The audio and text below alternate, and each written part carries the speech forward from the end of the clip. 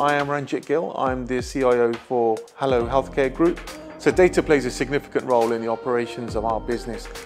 Right now, our focus with data is on making sure that we get the insight that we need to be operationally efficient at running our business.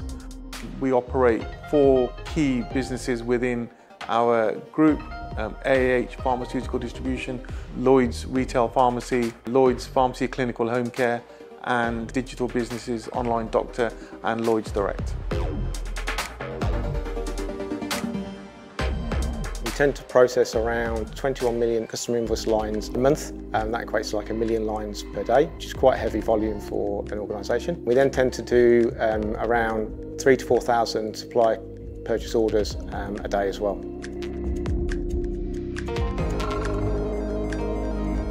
Think we've looked at the approach of the cloud, because the cloud seems to be the sort of in buzzword that's going around the organisation currently at the moment, and that's mainly to look at removing the need for us to support our own on-prem servers and databases.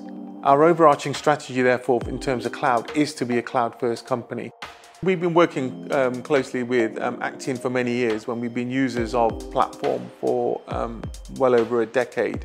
So we have a very mature relationship and close working relationship with, with, with Actian. I think it's absolutely fair to say that the system that we currently operate on, because it is so stable and it has been uh, maintained for so long, it, it's very reliable and it works very consistently and supports um, the business in its day-to-day -day operations how can we sort of migrate what we have today into a more uh, robust and uh, future-proof our services today for the business.